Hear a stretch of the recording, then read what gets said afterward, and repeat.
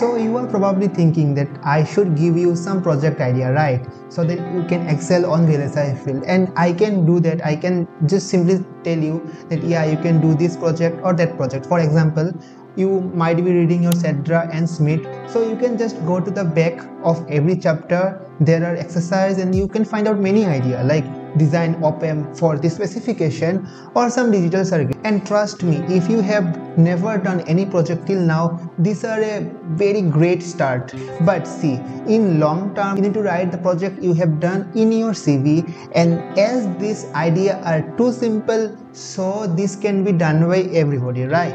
So your cv will look like say as, as every other people. And additionally if you have some interesting project in your cv then most of the time your interviewer will concentrate on that project only and they will ask maximum of question from that project only and which imply they are asking you from an area where you are strong at because you have done a project on that topic. And it is a great area right? So that's why having a interesting or some unique project in your cv is a must in long term. In beginning you can start with a simple project but in long term you need to have some unique project idea. So this video is for that only. Here i won't be giving you any project idea but i'll be making you capable of finding out on your own some unique or specialized project idea. So if this excites you then please press the like button and i am starting the video right now. Hey hi new people. I am Rajdeep your big brother and currently I have working with Intel as a CAD engineer. Welcome to episode 2 of VLSI project. So tell me first question why we need to do project.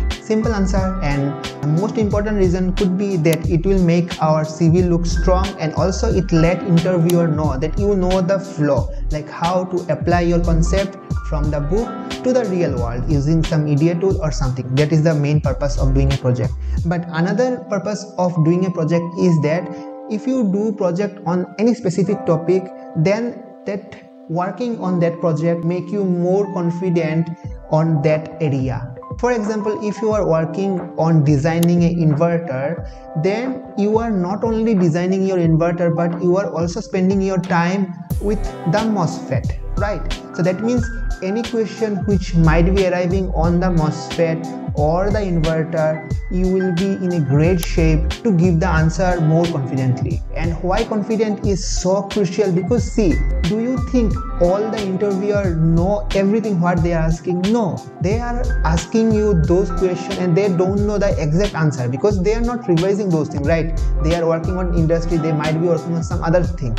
So whenever they ask you any question and you if you give that answer out of confident if it is slightly not true also that answer then also because you are confident the interviewer feel that yeah that is a correct answer. For example if i now tell you something without any confident like um, i'm seeing here and there you won't be finding it interesting right? But as i'm confident you are also finding it interesting. And same thing will happen with the interviewer also if you can give the answer confidently he or she will find you a interesting person who know his skill. So there will be a larger probability that they will hire you. So that's the main two reason we need to do a project and not a project many project.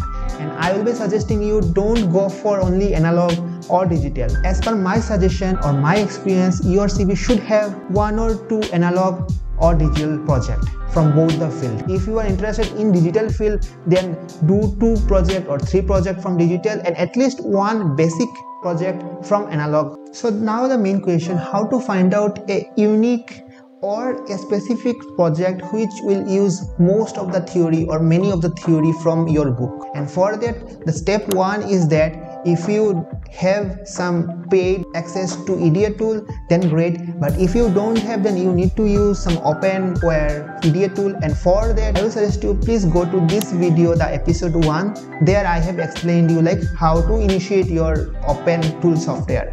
And also there I have given one project idea simple project idea. Do it first.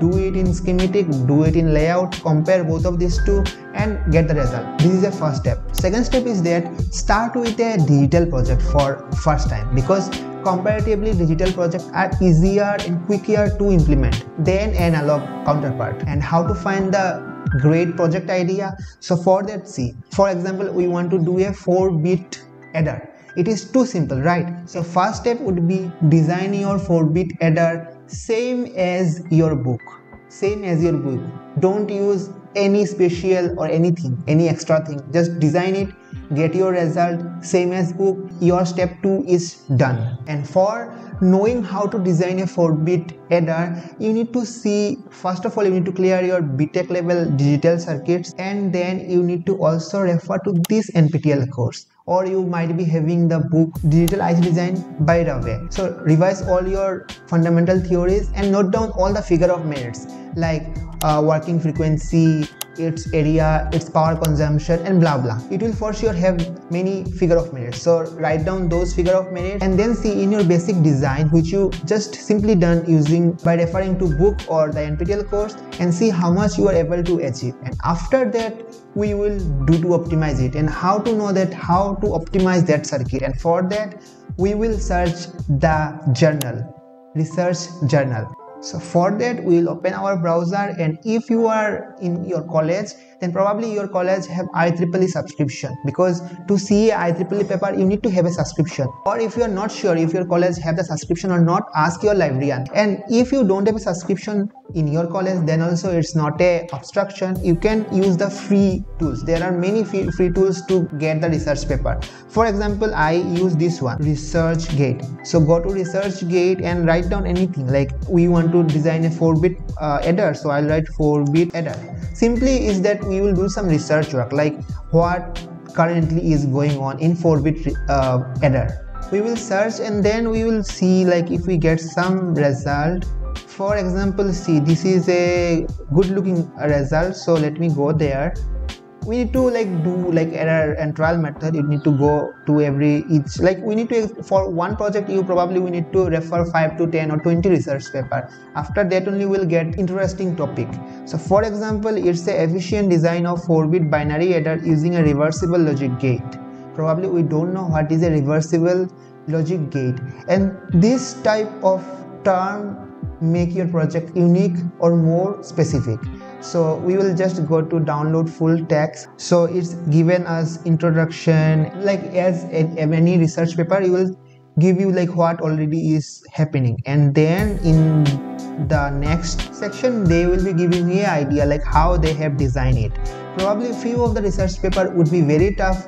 You probably won't be able to implement it. But there are few research paper who, who which are little bit easy and if you are not finding out like what this research paper is talking about and what you can do you to you can go to introduction section and you can find out like they have cited like one two like from there they have also taken their theory for this cited this research paper. So you can go to the last research like last of your research paper and see uh, these are the reference they have used so you can probably go to one of these research paper. But see it is of 1961 so it's very old.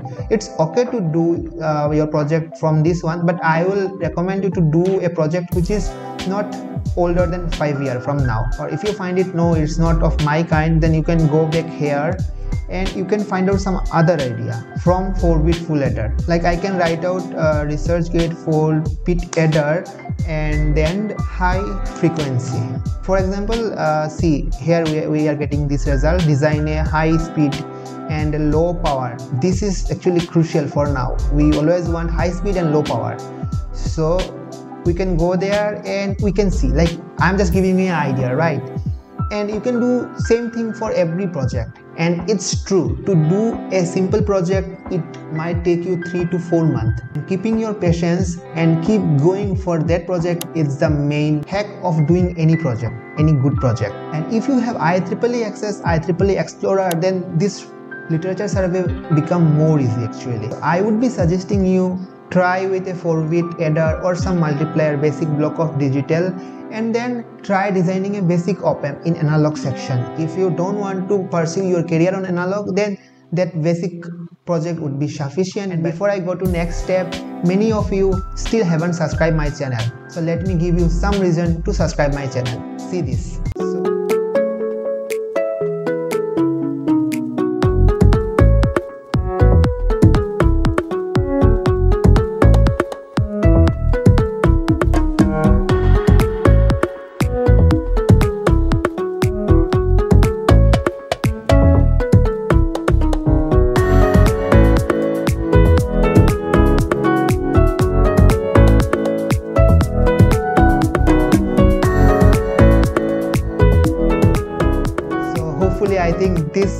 statistics will change after this video. Subscribe my channel because in this playlist of VLSI project probably I won't be updating very frequently but in one month or alternative month I will bring out some project idea or mm, probably I will be doing some live project and showing you the result like how to do those projects. Now the most important thing you need to remember and that is as I phrased earlier a project could go for six months also. And many of time we start a project for example basic inverter block only you face some constraint and you just leave it. Like no project is of not mine cup of tea. But don't do this thing. And to give you motivation throughout your journey for that project try to know why you are designing that project. For example a inverter. What is the real life application of a inverter? See this is a laptop. This has a processor. And processor mostly of digital and any digital block can't be made without inverter like i said a 4-bit adder. Adder is a so much important block in your processor. Remember your signaling system. In signaling system what we do? We do fourier transform fft there if you go inside the algorithm you will find many addition and many time multiplication are there. Who will do those things? Your 4-bit adder only. Could be it is a 32-bit adder. So that's why these are the important in real life so know the real application of that block and then you will find the motivation to keep on going for that project to finish that project. For placement purpose to crack your interview note down all the challenges you faced. Anytime you feel like now i'll give up my project. I i'm not continuing this project because you have faced some uphill right? You face some constraint. That's why you want to just leave that project. Write down what that uphill or constraint is note down all your failure or all your struggle and in the interview try to tell what are the obstruction you faced. And if you don't know how to deviate your interview as you want see my this video. Here i have given some idea how you can let your interviewer ask what you want to tell them. And sometime in project we use some special tool. For example 28 nanometer pdk right. So interviewer will ask you why you have used 28 nanometer PDK why not 180 PD, uh, nanometer PDK so that time you need to have the answer. Or probably what are the difficulty you faced with 28 nanometer compared to 1 180 nanometer? So this type of answer you should keep ready.